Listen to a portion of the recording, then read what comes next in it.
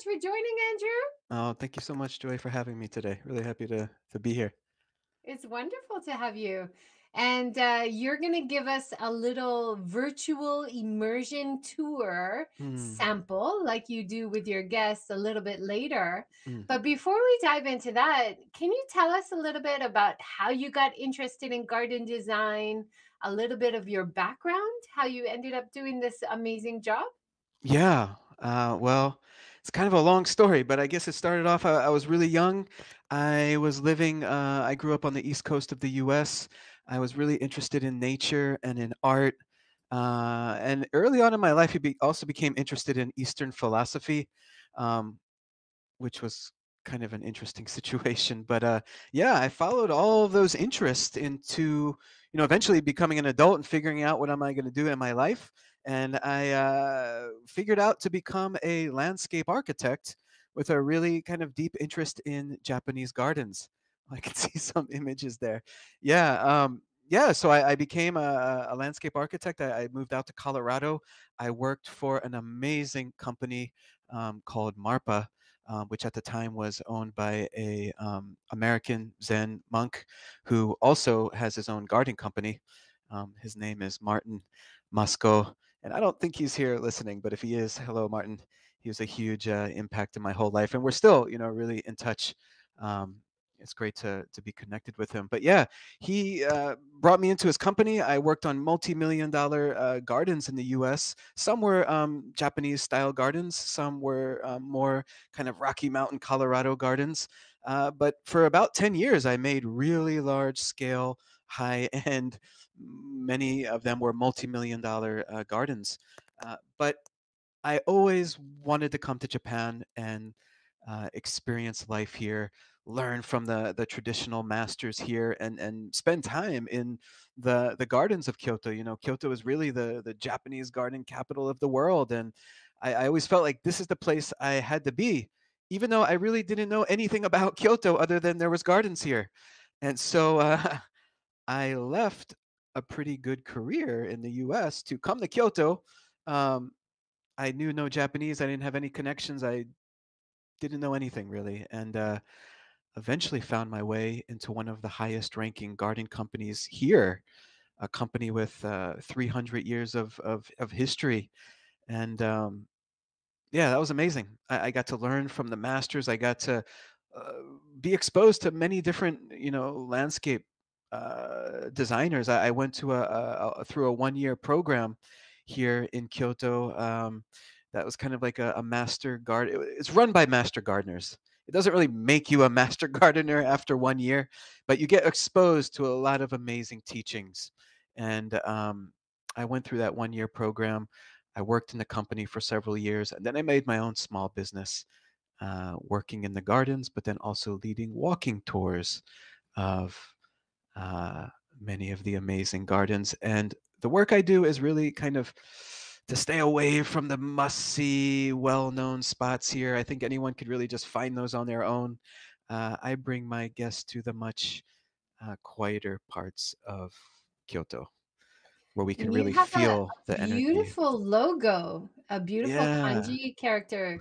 Tell us about your logo for your business Well, An Design Kyoto. yeah, if I just reach out over here, this is kind of actually the original calligraphy. Oh, It's kind of beautiful. mirrored. Oh, Did you do that? uh, no, definitely no. This was done um, by I kinda, I'm being mirrored here, so I'm trying to figure out which way is the. Okay, here we go. That'd be something like that. That's the good way. Um, but this is actually a really common Japanese character that I think most people, when they see this, cannot understand what this actually is because this is kind of like the old way to write it. Um, this is the character an or yasu, um, which you know yasui something. Uh, sometimes it's you know referred to as being you know low price or cheap um, an another way of pronouncing yasu is a way to describe uh, something calm or peaceful. But uh, when i first came to japan i was given my kanji. My name is andrew in japanese but it's pronounced andoryu. And a ex monk turned guest house owner chose those kanji for me. Uh, An is the first one that you see there. Um, and that became when I started my garden company. My, you know, many garden companies here are just named after the owner. And so my nickname when I was working in the traditional garden company uh, was An. Uh, nobody really wanted to say Andoryu. It's kind of long. And so I just became An Chan.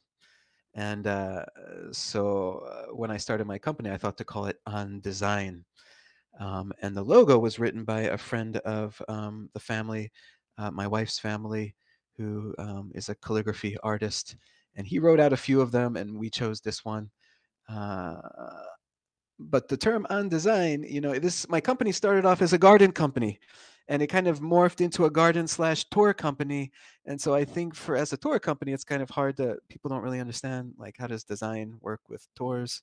Oh, it's so it's so important when you're touring gardens for sure. yeah. And there's there's so many things that I I'm so happy to to connect with you because mm, there's so many things about Japanese gardens which you can look at and appreciate but without understanding on a deeper level. I think you're missing out on so much.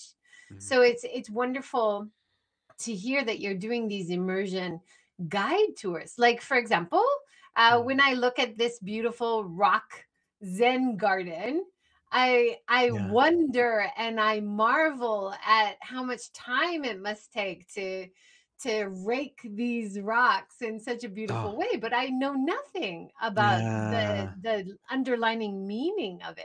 Mm. Well, that's really the work that I try to do in my walking tours is, and the way that I, I, I explain them, you know, when when visitors to my website, you know, might check out my website. The, the, the, the way I try to explain what I do is that, um, you know, when you come to Japan, you're inevitably, especially Kyoto, you're going to walk through temples, and at the temples, uh, you know, the buildings are usually surrounded by gardens, and so you're almost guaranteed to spend to find yourself in a Japanese garden when you come to Kyoto. And I know a lot of folks, just like you, Joy. You know, they come here, they think it's just amazingly beautiful, just majestic.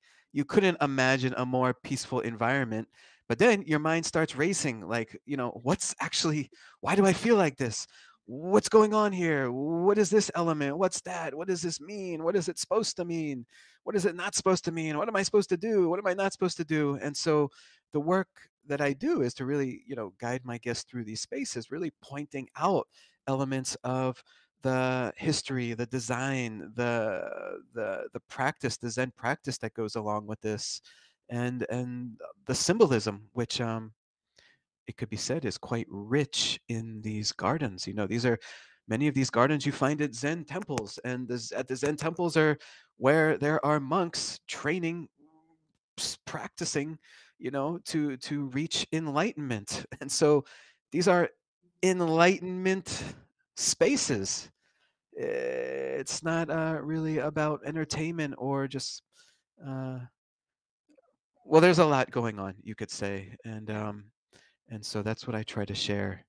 And so what you specifically mentioned about the the rake sand i mean yeah that takes a, a tremendous amount of time and and spaces like that would typically historically you know be raked every morning by one of the monks you know as part of their spiritual training. It's like a a, a meditation in motion. Um, clearing the thoughts out of the mind and just being present in this moment and and what you do is you you're constantly walking backwards you're raking the sand uh, very silently very you know in a very kind of how would you say very you know intentional position you find yourself in. Um, and uh, you know it's not like the monks mess up and then they sweep over it and they start again. It's really meant to be one continuous uh, uh, motion. And you know really one of the most important things you have to keep in mind is you don't want to rake yourself into a corner because then you have to walk Oh. through what you just raked it doesn't work out Is out it is it like when you study martial arts that the practice of doing garden garden like Zen garden maintenance is supposed to be meditative? Mm, And are you supposed to be like thinking about certain things or clearing your mind as we often try to do in yoga? Is that a part of the training? Totally well i don't i've never done any martial arts training so I, I can't exactly say it's like that or not like that but from what i imagine Um, well, yes, just to answer your question, yes, it's very much meant to be a meditative act. And so, you know, think, well, what's the point of meditation then? You have to get into what does that even mean? Um, the idea of meditation is to be present. And by being present, what you're doing is emptying everything out of your mind. And the idea then is that you don't just, you know, you're not experiencing nothingness. Um, it could be said you're experiencing everythingness. you know, in this moment, you are totally present.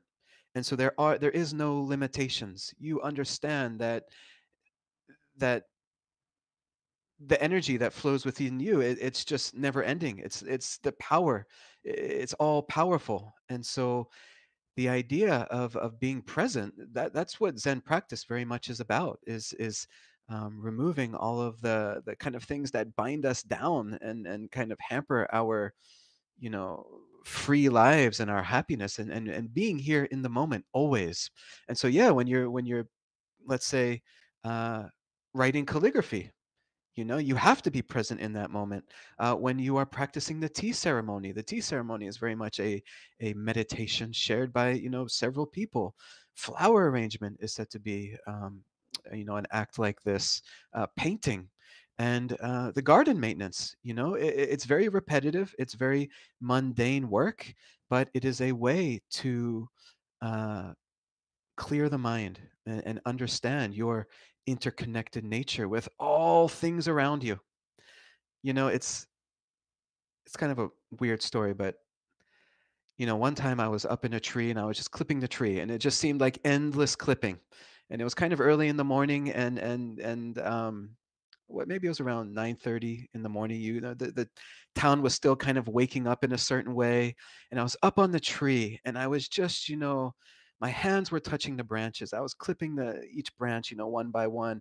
I could hear the sound of the bus, and I could hear the lady, you know, up above, nearby, you know, uh, kind of. Uh, you know the sounds when people you know are on the balcony like uh, shaking out the, the the futon and you know i heard the birds chirping and i felt the sun and it might sound very strange but in that moment like i just completely detached from myself you know my ego and and could feel all of us everything together in that one moment and uh yeah, that's that's what the garden maintenance is really about, you know, clipping the trees, pulling the weeds, raking the sand, whatever you're doing, it's meant to be um, a, a meditative act. Yeah. That's so Because you can imagine what doesn't Yeah. happen, right? If you don't tend to the garden, it's just like if you don't tend to your mind, if you don't take care of yourself, if you don't, you know, work on on on your happiness and controlling your thoughts and being positive, if you don't work on these things, it could become a mess. And the same in the garden. If you don't pick the weeds, if you don't cut the the the shrubs, you know, eventually the paths, you know, you can't move through the paths and there's thorns and prickly things and and just being in the garden becomes very difficult becomes overrun by you know unnecessary things and so uh, that's that's how the garden work translates to the the mental aspect of it And I I appreciate all of the work that Mm. goes into making these beautiful gardens pristine and so natural. And what I appreciate more and more is the absence of plastic and the oh use of natural materials mm. together. You know, like in so many parts of Japan, we have too many plastic cones everywhere. I don't see that in traditional gardens. Thank goodness. yeah Um, but here, tell us about this uh, technique that you're using. I assume you're moving some heavy rock or something into position. yes this was actually one of my first days on the job and i was completely blown away uh, and you can't see it but uh, you know we see the back of his head this is inoue sensei Uh, he's one of the really highest ranking garden masters in all of Japan at the moment. He he recently retired and passed um, the the company down to his son, who I think now it's 29th or 30th generation. Uh, but I got to work with him for a couple of years, and that was absolutely amazing. So what we're doing here you know, this is a, a really old property. And, you know, back in the US, let's say, the on the side of the building, it'd be very wide. Uh, there probably would be a fence around it. And if we were doing the garden renovation, we would just kind of remove sections of the fence, bring in the bobcat or the, you know, the backhoe, and we'd have all the machines and and we'd just start plucking the stones around and it just would be like poop, poop, poop, poop, poop but in Japan it's very different you know?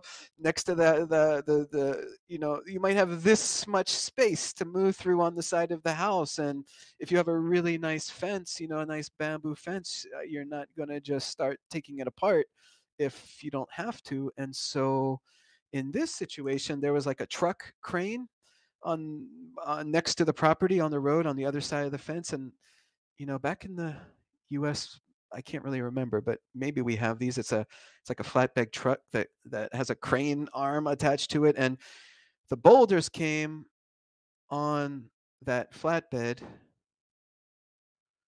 Oh, I'm just thinking of it strangely. Actually, no, those were the trees that we picked up and pulled over the over the, the fence onto the property and then moved around. The the stones actually we pushed on a dolly that was uh, took a lot of work to get it back there. But then we get the, the, the stone onto the ground. We have no machinery. And so we use this tripod like contraption called a san mata. And the tripod has this, uh, uh, what would you call this? I forget what you, you know, the, the chain uh, attached to it. And Like a um, lever or something? yeah, Yeah. yeah, yeah. And, and you chain the, the, the stone and then you pull it up and uh, then as it's hanging, you push the stone all the way into one direction as far as you can in the direction you want to move it, and then you lower it down.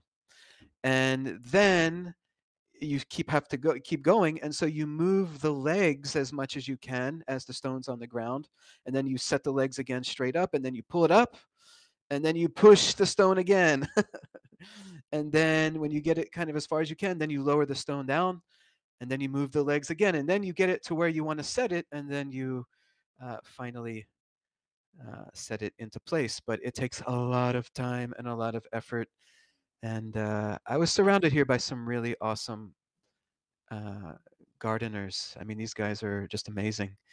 That's uh, incredible. really Yeah, when when I do um, even short walks and do the live stream, there's so many fans around the world who always comment on the high quality of maintenance Mm, of the landscape artists and the mm. gardeners. I, I think it's Japan is so famous for such high quality work, right?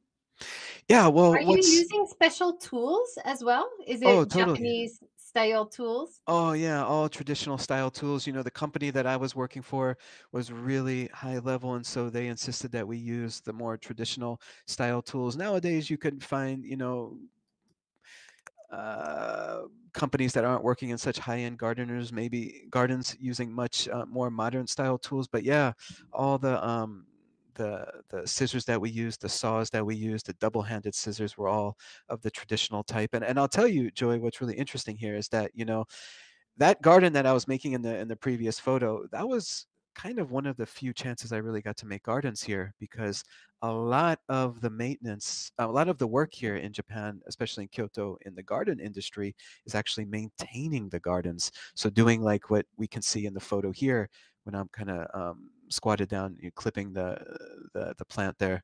Um, there's really not a whole lot of garden construction here because the temples are very old and they have their gardens. The uh, old residences all have their gardens. And so, you know, the work in those spaces is to maintain them. And, you know, nowadays, if a home is built, it rarely has any garden around it. The home is built to the property line. And so a lot of the work these days is maintenance. And so That makes uh, sense. you could see what I I was doing. I love here. your Yeah. Tabi boots here. I have to Yeah. shout out to the Tabi boots. Yeah, these are kind of special ones because these are actually steel-toed, which are really Oh, uncomfortable because, you know, they're they're steel in here and it really makes it rigid and it's not very malleable at all and uh, they hurt. But for this project we were working, it was a um, it was a it was a very large project actually at a cemetery. We were making a very large garden And for this part of the project, we were doing stone setting, and they required that we wear those steel-toed tabi, which That's amazing. I mean, the idea is that with the tabi, you would have more grip strength or right, be able to move your foot better, totally. I guess. Yeah, so typically, like if you were to wear that steel-toed version, you would not be like climbing trees and cutting them because that's when you really need your feet to be able to kind of uh, mold onto the tree. Um, this you would pretty much only use when you're doing uh, heavy stone setting. And if I remember correctly, this was kind of in the winter, and so those were actually they were kind of have fleece on the inside. They were the winter version. So yeah, Joy, you'd you'd be impressed with those. Those are pretty fancy uh tabi. Yeah, I love the tabi socks. You know, like uh, if I'm wearing geta or Mm, something with my kimono or yukata, I always get the tabi socks. But I, I always admire the workers' tabi boots. And mm. I think if I ever do any serious work in my garden, I'll have to get some. Oh yeah, yeah, you should. They're really comfortable, and the really great thing about them is that your pants actually go into the boot there, and then the boot really tightly kind of closes around it, and so no dirt gets in there, which is the best thing because, you know, what's worse than having a whole bunch of stones and dirt like in your shoe when you're trying to work? It's doesn't work out, but that literally never happens when you're wearing the tabi. It's really nice. That's nice. Uh, uh, just a shout out to your beautiful YouTube channel as well. And I Ah. noticed your most popular or most viewed uh, video is mm, about the 1200 sacred statues. Yeah. That just looks incredible. Yeah, that video got some traction somehow. I don't know. It's been really hard to grow my YouTube. Maybe I'm not as consistent as I No, it should be, but time. yeah, it does take sure. time and a lot of posting and uh but that one, yeah, that's the the trailer to my um the second online experience that I created and it's of a temple who where there's 1200 of these amazing statues. Uh it's very surreal. For me, it's one of the most unique spaces in all of Kyoto. I actually led a session of this this morning at 5 a.m. Uh, but yeah, it's a, it's a wonderful place, and um, because it's a little bit out of the area, it's in the Arashiyama area, but it's a little bit kind of up in the foothills, and so uh, a lot of folks don't go up there. Surprisingly, I, I guess before COVID, it was getting a little bit popular on Instagram. You could see it's a very uh, photogenic site, but because it's about an almost an hour walk from the very famous bamboo forest, not a lot of people go up there. And uh, it has an amazing story. Uh, the head monk of the temple is super kind. He's uh, an amazing musician, a very modern monk. He himself has a YouTube channel uh, where you can listen to dozens of his songs. Uh, a really awesome space. I love that when you are walking around a beautiful traditional city like Kyoto in Japan, and you can hear just by chance, you can start to hear some of the morning chants. It's Ah, just such a magical time to be walking around before it gets busy, totally. before you have the modern city vibe. You have that Mm. traditional vibe that is so rare and special. Yeah, that's Kyoto. Yeah, and as you're walking, you feel that you smell the the the aroma of tea, someone making tea in a nearby house, and yeah, there's some really yeah, early morning in Kyoto is the best time I think to walk around. Yeah, for sure. Uh, and even in Kyoto, it does get too busy at times. So Yes. taking back streets is always my tactic to avoid the crowds. Yeah, I totally recommend that. But I'll tell you, Joy, it, it became a little bit popular before the pandemic to to bash Kyoto and talk about how it's a touristic Disneyland. And and I know that in certain kind of tourism circles, it has this kind of I don't know, negative image and maybe, maybe not. I, I don't know how folks see it outside of here, but as a resident of here, you know, I absolutely love living here. And I, I know, of course, this place, uh, uh, it can be very touristic depending on where you go. But with that being said, there's like over a thousand years of history here. So there's also many, many, many, many places that no one bothers going to. And you could really have, you know, very deep, uh, kind of unique, authentic experiences and not feel like, you know, it's just a, a tourist trap. And so I, I really do. recommend anyone coming here just search deeper than just what you could quickly find on Google and and really, you know, don't discount anywhere. A place that you might see and might look on the map and be like, "Oh, why would I go there?" Like just check it out. It'll probably be awesome. Good Yeah. advice. Uh, thanks for joining Robert Yellin of Oh. Robert Yellin Yakimono Gallery in Mm. Kyoto. It's wonderful to have you here with us live. And Chris Wiegand, Chris is actually based in Colorado, and you were Oh, doing your garden training in Colorado, yeah. right? Oh, that's cool. What I wonder, can we communicate with them? I wonder, Chris, where you're at. Uh, he might listen and then he'll write us a Oh, right comment, so we might find out. Cool. Um, Oh, oh, Denver. Denver. There you go.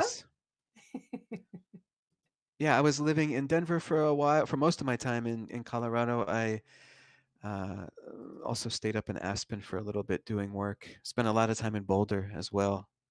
That's incredible to me to find out that there's Japanese Zen gardens in Colorado that you were working at. Oh, What yeah. coincidence. So that was that's a really rare situation, but yeah, uh, the owner of that company, uh, a person named Martin Mosko, uh, actually came to Japan. I don't know, some 40 plus years ago, and studied uh, Zen here, and really got into the gardens, and so went back to Colorado and made his own garden company and his own Zen temple. Uh, and uh, when I was looking to get into this field, and I could see Chris asked which school I went to. I went to the University of Colorado at Denver, uh, the grad program there.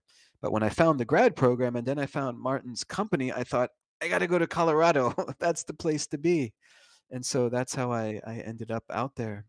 And yeah, there are some mind boggling uh, Japanese style gardens in Colorado. Now, I'll tell you, the climate is like completely different than Den- Denver. I'm sorry, than Kyoto. And so, of course, many of the plants we would use in a garden here cannot be used there. Uh, one of the major ones, you know, is the moss, which could never grow in Denver. Uh, Wow. um, so you have to find substitutes. And as you substitute some of the plants, you know, there becomes a little bit of a different feel, maybe you could say, but still, you know, the, you could still use the design principles, the techniques, and and yeah, I got to work at some unbelievable sites. Uh, Awesome. unbelievable. Uh, Andrew, I think this might be a good time to give us a little tour Yeah, awesome. Okay, so uh, let's see here. Let So, just to introduce, this is the kind of online immersion virtual Zen garden tour that Andrew has been doing, especially since coronavirus. But I think even after the COVID uh, stay at home social distance time, Mm, I think he still has so much relevance to mm, have these kind of virtual tours for people who can't visit in person. But even if you can, I think the the video quality, the sounds, everything that you capture in such pristine quality, it's mm. really hard to replicate in person. So there is an argument for keeping this virtual aspect of the tours, right, Andrew? Totally. And and and you really said a lot there. You know, I um I had never done any of this kind of work before the pandemic. Uh, with the pandemic, my tour work was just completely wiped out, and I had to keep my business going. You know, I have uh, two kids, uh, an amazing wife, and just we got to keep living. And I didn't want to just give up my business and try to find a job in some company. I felt that would have been very meaningless. And so I just picked up a camera and I started filming and um, I was making really bad videos at first, but I got down some of the techniques. I was able to purchase a, a little bit of a better camera and a stabilizer, and I started making these videos and and doing these online um, experiences. And and I've come to, you know, call them, you know, more than just an online experience. I don't really think that explains very much. I like to refer to them as these uh, interactive, immersive, online, live performance documentaries and I know that's a lot of words all strung together, but the idea is that I'm not just showing places. Uh, I'm I'm telling much deeper stories with these with with in the in the surrounded in in these spaces, and um, by the end of it, you know, it could almost seem like a meditation in itself to take part in one of these sessions. You know, I think they're very calming, very um, educational in a certain way. And um, yeah, long after COVID, I want to keep doing this, uh, developing these, because I think it's an amazing way to transmit culture uh, to people all around the world as long as you have the internet. So I guess I'll start sharing here. Yeah, go ahead. And I think we figured out that the sound wasn't working as good uh, with my um, microphone on. So I'm going to actually take off my headset here. All right. I'll make it full screen here. Konchi-in.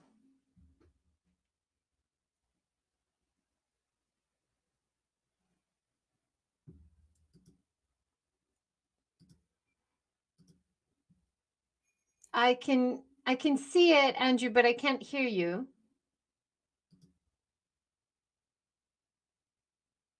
Yeah. Can't hear anything. It looks beautiful, but we need to hear your guide, your voice. Definitely. I think you can Oh, hear me. I can hear you now. Okay, cool. Okay, very good. So up until this point, you know, this is not the beginning of my um, Zen garden experience. I would have been, uh, I give a, a lot of intro um, to what we're about to do, but because we're doing the much shorter version here, I, I'm just kind of skipping right to the sub temple we're about to visit. This is a place called Konchi-in, and uh, this is kind of like my spirit home, I would say. Uh, it's just in a, a wonderful garden, and I've been here probably over four or five hundred times, you know, on tours, walking tours with my family, alone. Um, and this is where we're going to enter now. And I'll tell you, during opening hours, you could purchase a ticket, you can walk all around here on your own.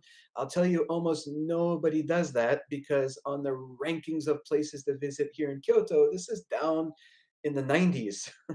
so, you know, most folks don't come here. It's always very, very quiet, uh, peaceful.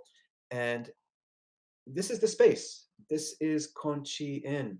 Um, the gate that we just saw in that previous photo is at the bottom right, and we're going to kind of go through the gate. And you know, typically in this session, we would make our, our way all the way around the grounds of the temple. Uh, we usually stop for an intermission here, and then we continue to the main hall, looking out at the main garden. Uh, in my opinion, one of the absolute power spots of Kyoto. Uh, It's quite a big facility. My well, goodness. It does look kinda big in this image. I think most temple paintings kinda portray themselves as a little bit bigger than what they might actually be. They there's a sign at the, um, ticket office that you can walk around this in, like, 10 to 15 minutes Okay. Which you could literally just walk around probably in five minutes if you didn't really stop at all. I'll tell you, maybe uh, when you when you're walking here, you might take 10, 15 minutes. Then you might get to the main prayer hall, uh, have a seat or or stand and look out for another 10 minutes. So maybe the average time to be here is maybe 20 to 30 minutes. Um, when I'm doing my walking tour here, we're here for about 45 minutes to an hour because we're going in much more detail. But uh, as we zoom in here, we're here in the entrance garden. And uh, we walk forward, we turn this way, uh, and we come to a second gate. Now, as we're standing here, this is what we see. Uh, if we were to meet, let's say, with the head monk, we would come into this building here. But we're actually going to continue this way. We see uh, the pine tree in the near distance. That's actually this tree. And this is a tree which many viewers of this might have in their neighborhood. Uh, this is a uh, just a standard pine tree, but it, the pine trees probably don't look like this in your neighborhood because here in Japan, they're cropped every year. They're cut to appear as if they're blowing on the mountaintops in the wind over hundreds of years. Uh, we see this element quite a bit in the garden, and we see the emptiness all around us already. Emptiness is a key aspect of, of Zen practice, and it's certainly uh, a key aspect of Japanese garden design, which I typically get into a bit later. Uh, for now, though, how about we skip ahead and come, you know, I'm not even, I think for now, we're not going to watch this opening segment. Let's watch the next segment. I think might be a better one because Okay. this first video has a little bit of intro feeling to it, and and I'd like to just get you guys into the garden. So I'm gonna click ahead a little bit. That, uh, branch, the way the branch is designed reminds me of some of the old wood woodblock prints that you would see in Japan Oh, with totally. the the moon and the clouds, Oh, yeah, and that same kind of beautiful, like, horizontal shape. I love that, the reaching out yeah. of That the branch. and that specific tree in the in that previous video, which we didn't just watch, but the very base of that tree is a very long horizontal branch uh, that's propped up with a, a few posts. Um, you really can start to tell the the age of that tree. I mean, that tree is said to be over 600 years old. Uh, one of Wow. the uh, original trees of that garden. Um, but for now, we've come into the pond garden space, and when we stand here, we look out and see uh, a bridge which leads to an island in the pond. And when we stand here, this is what we see. And, and this is a wonderful example of how very often the Japanese garden is a microcosm of a much larger space. We're going to see that in just a moment. Uh, this is also an amazing example of how perspective is used in the garden. We will get to that in just a bit. But when we look down, we can see the koi and the turtle. These are both uh, animals that live very long, and so they represent longevity and good health. And they also have even deeper meanings, which uh, eventually we get to a little bit later on. Uh, but looking out, we can see the bridge, um, which we just saw in the painting. Um, the bridge, well, you may know in Buddhism, there's a uh, belief in being reborn again after this life one can be reborn into one of multiple realms of existence. And so, very often, the bridges represent leaving one realm and crossing into another. And so, you know, whenever I'm in a garden, I see a bridge, I feel it's kind of a mysterious moment, or especially if I cross over one, you know, definitely know you're doing something important in that moment. Um, actually, no, let's take a moment and uh, have a look at this space. So I hope this is showing up clearly on the screen here for you guys. Um, for me, yeah, it's looking totally good.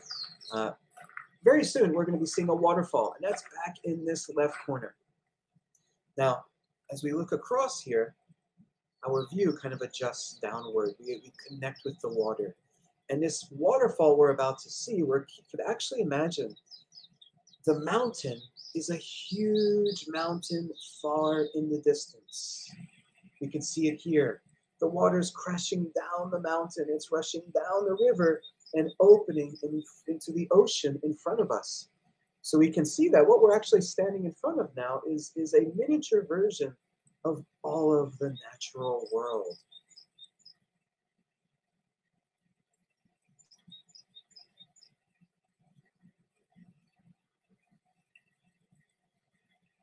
Now, as we pan across, the Torii Gate comes into our view. Now, the torii mark the entrance into the sacred space of a shrine. And there's actually a shrine on that small island in the pond. The shrines are where people pay homage to the Shinto spirits that exist all around us in nature.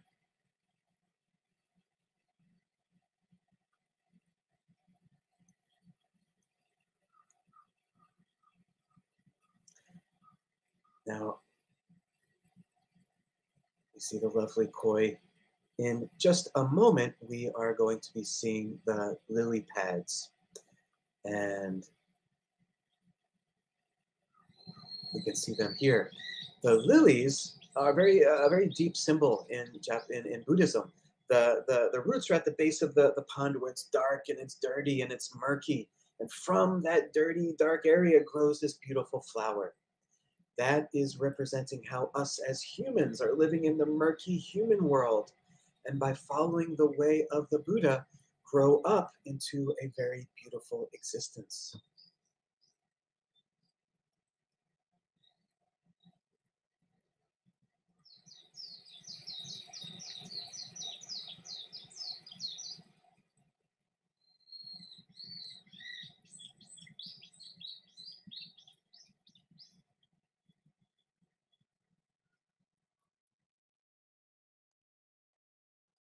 And so that's the very beautiful pond garden. And and typically at this point in my uh, in the one of these sessions, um, like I do very often through these sessions, we open it up for discussion. I ask my guests, you know, now that we've spent uh, typically at this point we would have seen several videos up until this point.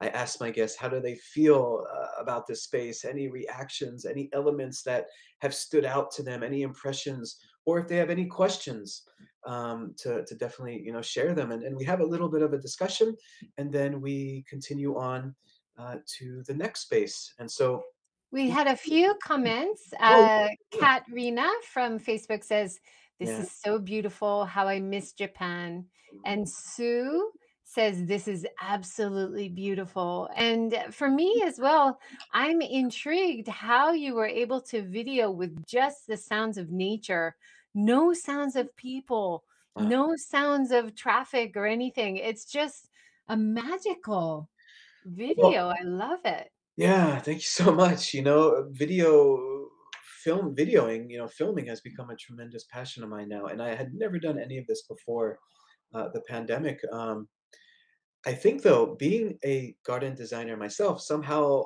allows me to film in maybe a different way than what most people might film. I, I try to show these gardens the way that I see them.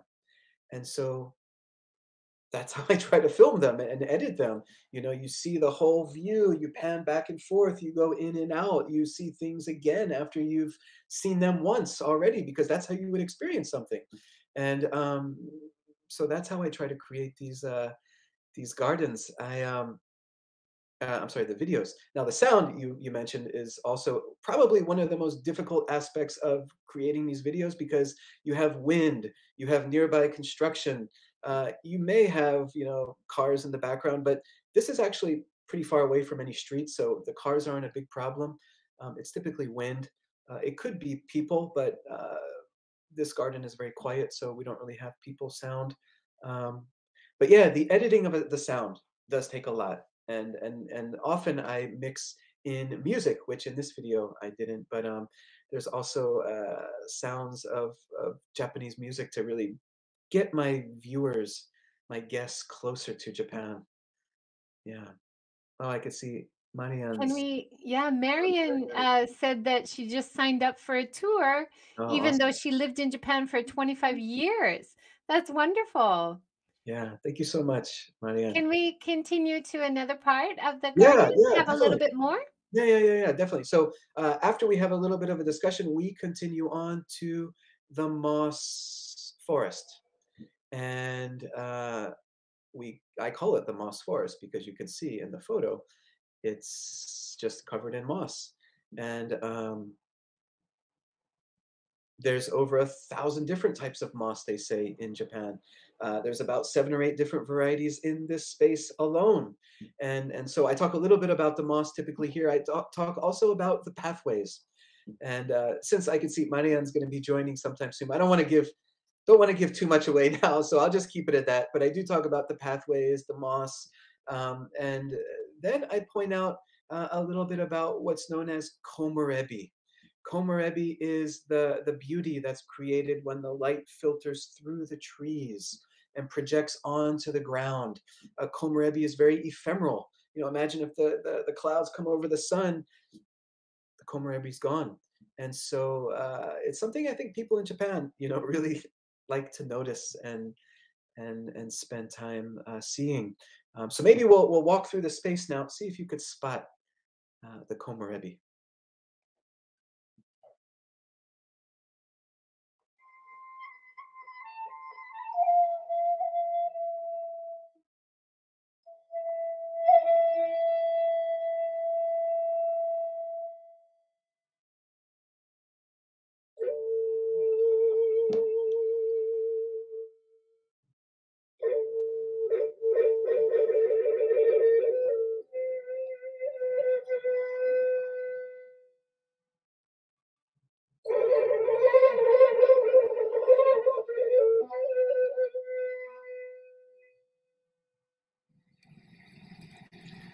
So we are now coming away from the pond area and entering into the forest.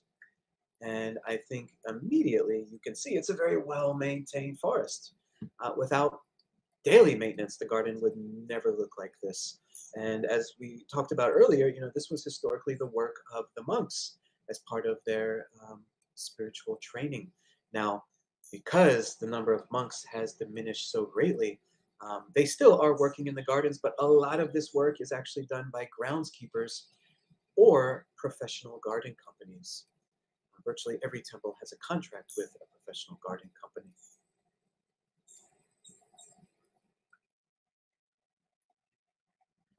As you can see throughout these videos, often I'm narrating over the video, but then I don't really say much at all and just let the nature sounds come through.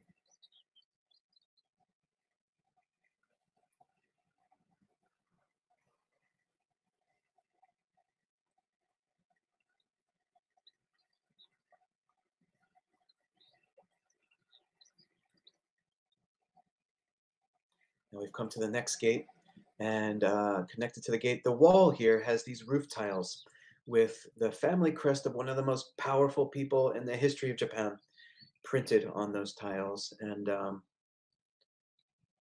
typically next, I, I tell a little bit about that. Yeah, but before we do that, I typically open it up again and we have a little bit of a discussion about moss you know, I think a lot of folks are really interested in moss and love to see it, and, and especially on my walking tours, love to spend time around it and touch it and do whatever. So that usually opens up a, a chance to talk about the moss a little bit before we move on. When I was in a, a, a Japanese forest recently with lots of mm-hmm. moss, you could feel the difference in temperature. Yeah. It was a hot summer day, but next to the moss was so cool. It was mm. amazing, like a natural refrigerator. Yeah, yeah, it's really amazing. And a lot of folks think it's so, you know, brittle and kind of, you know, delicate, but it's actually really strong. Uh, many of the varieties. I mean, it doesn't really like trample being trampled all day, every day by people, but it is very, uh, it does really endure. And, you know, even in Kyoto, when it's hot here during the summer, it's like, you know, 100 degrees Fahrenheit or 40 degrees Celsius and and and humidity is like top it's really hot, but there's still uh, moisture in the air, and we get rain, and the moss, you know, can even get kind of brown and a little bit even crunchy. But um, as soon as it rains, it comes back to being green, and uh, the moss actually takes the water in through its head, and so it's been it's funny joy there's been times where i'm on a walking tour and it's really hot and the moss is all red and brown when we walk in but then there's a downpour and as we're leaving the same spots that we were seeing as brown moss are now you know bright green i mean it literally turns back to being green almost wow it happens that quickly yeah. i wanted to also ask about the season of the videos that you're showing is this uh-huh. summer um, I didn't see too many autumn colors or spring colors. Is this a summer version? Yeah, so that's really funny. Uh, the first thing I learned when doing online uh, experiences like this is like the videos are kind of become like your iPhone.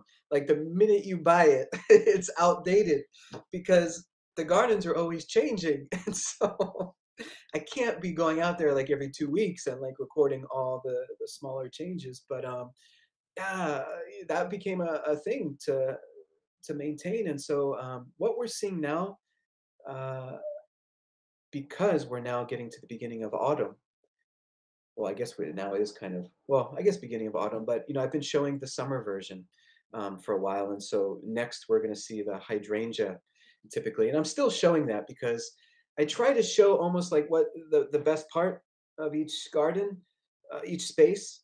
And so, you know, the, the, the lilies that we just saw in the pond, uh, aren't really much there anymore. The hydrangea, which we would see next, aren't really there anymore. But until the autumn colors start happening, I show that version. Once the autumn starts, I show the autumn version pretty much all the way through winter. Because even though I love the gardens in the winter, you know, the gardens of the leaves fall and, and you know, it's very clean and clear. I think visually people would prefer to see something more dramatic. And so I show the autumn version pretty much through winter, uh, about till spring almost. Hmm. Yeah, that's the thing. I think yeah, I think we have time for one more short little guided tour. Can you show us another part? Sure. Um, how about we'll just continue on this walk here. Uh, so next, what we're going into is a shrine, and the shrine is up above in the top left corner. What we're walking through here is the entrance garden of the shrine, and even just the design layout is kind of interesting. Um, why it's kind of a, a zigzag path as opposed to just a straight path, but uh, maybe I won't give that away too soon here. Um, let's now just walk through this space. But before I, I, I the shrine is actually dedicated to this person, um, who was Tokugawa Ieyasu, uh, a very powerful samurai in the, the early 1600s who unified Japan. And so when he died, 500 shrines were made all over Japan to commemorate him. And this is one of those shrines. And so now we're going to be walking through the entrance garden of uh, the shrine.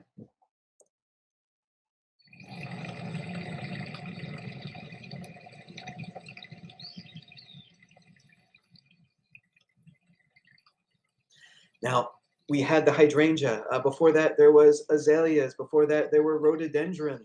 Uh, coming soon, there's going to be autumn leaves. And so you can see the garden is planned to have interest throughout the year. You know, in the in the in the in the summer when it's very very hot, it's just very green. Uh, again, in the winter, you know, there's uh, a chance to see uh, again the the moss, the evergreens, the stones really come alive in the winter. I would say.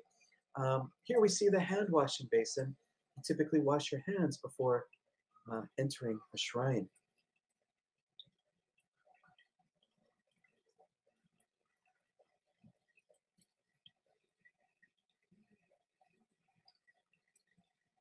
Now this garden is a little bit, this part of the, the temple garden is a little bit more showy than other parts of the garden because this is really dedicated to the shogun.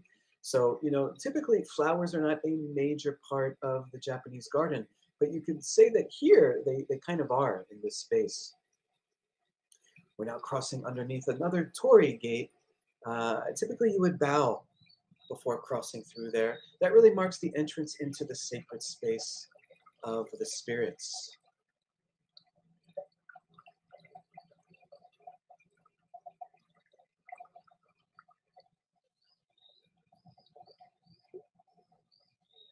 This is a plant that's blooming now. It's known as hagi.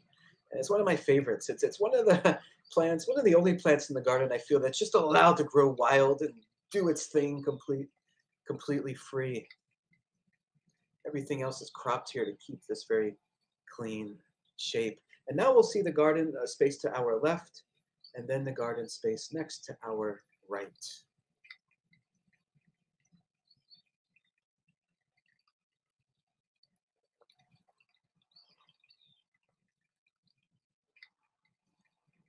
Then with just a few more steps, uh, we approach the next gate. And once we cross that next gate, we are into the shrine dedicated to Tokugawa Ieyasu.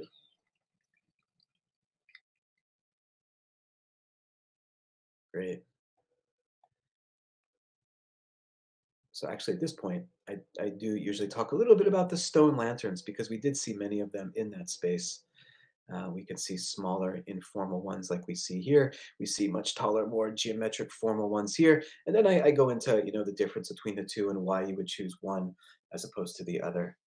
Uh, but I hope anyone watching this might tune in sometime, join a session, and then kind of get the full version. That'd be really so nice. It, it's not just functional or aesthetic. There's deeper meaning there.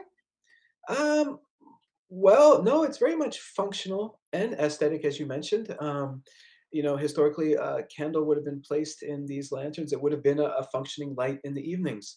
Um, but just why you would choose, like, let's say this lantern for your space. Okay, let's just do this, like, kind of in your mind. Imagine this lantern was in this space, and this lantern, okay, if we go back to this space, and then imagine this small little guy was in this space. I don't know. It, if that would feel weird to you, but I think if you spend time a lot in gardens, that would be really strange. And I think in a certain sense. Um, so yeah, there's reasons why you put certain lanterns in certain spaces. That's really interesting. I never thought about that.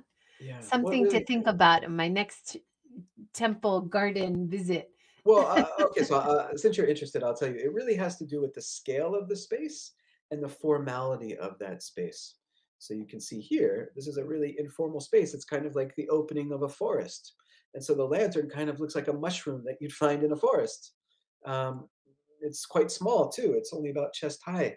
Uh, now, as we turn around and we're now facing the shrine, uh, it's a very uh, uh, formal space. The lantern becomes much taller more geometric. The, the capstone is actually mimicking the roofline of the building.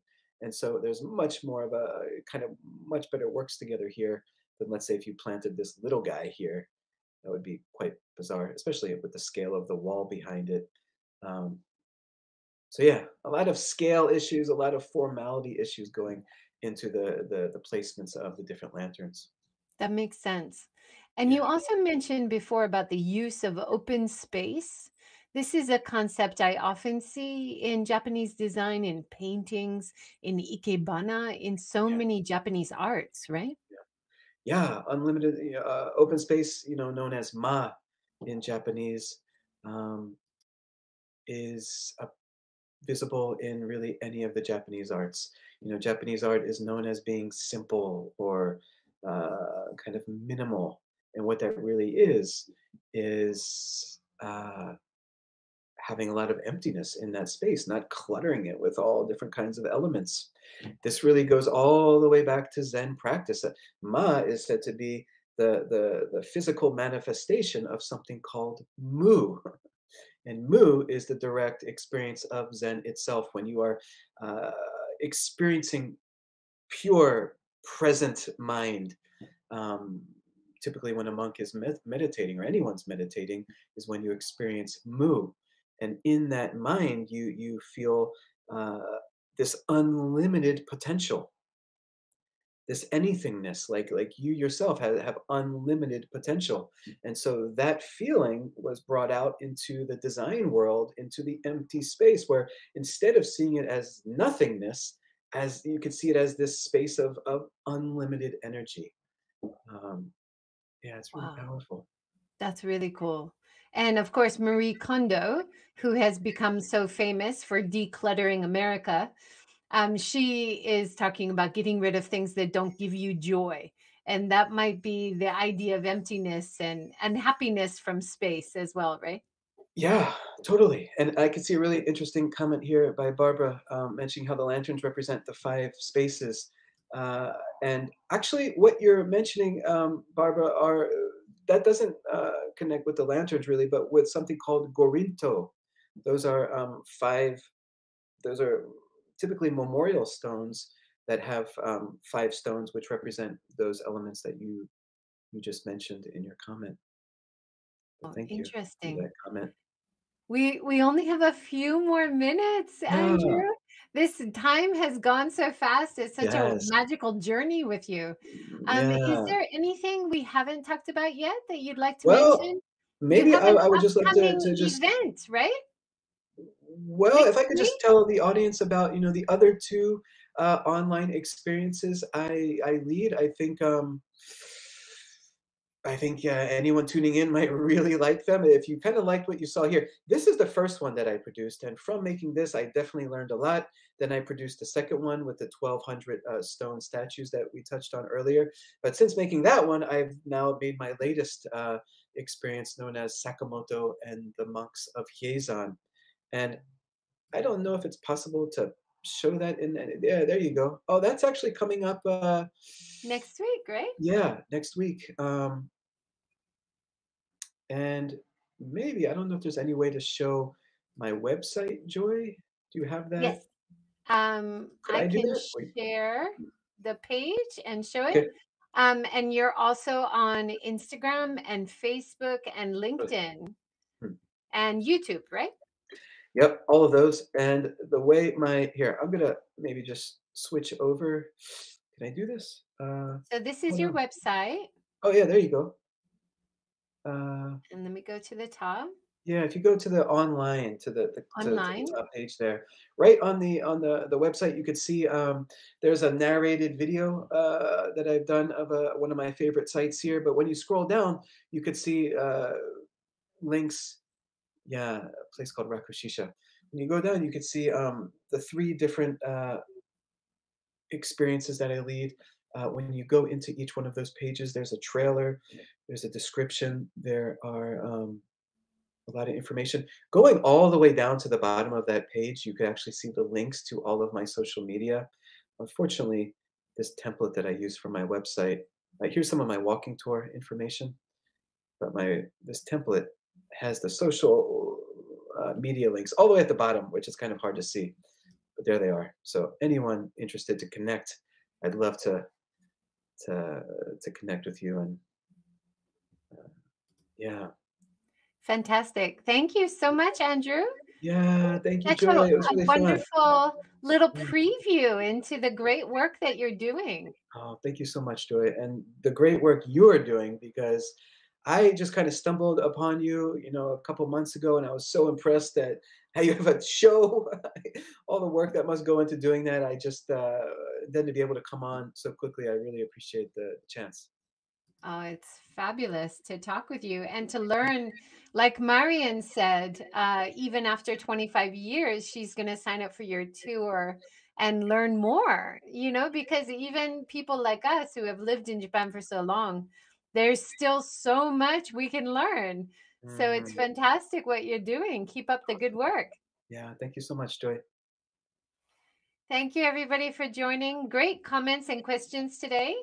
And definitely sign up for a tour. You can find Andrew William once again through An Design Kyoto, his own website. I'll put the links below. He's also on Instagram, Facebook, YouTube, and LinkedIn. Mm. Everyone, have a great day and a wonderful weekend. Thank you so much, Andrew. Thank you, everyone. Thank you, Joy. Take care, everyone. Be safe out there. Bye.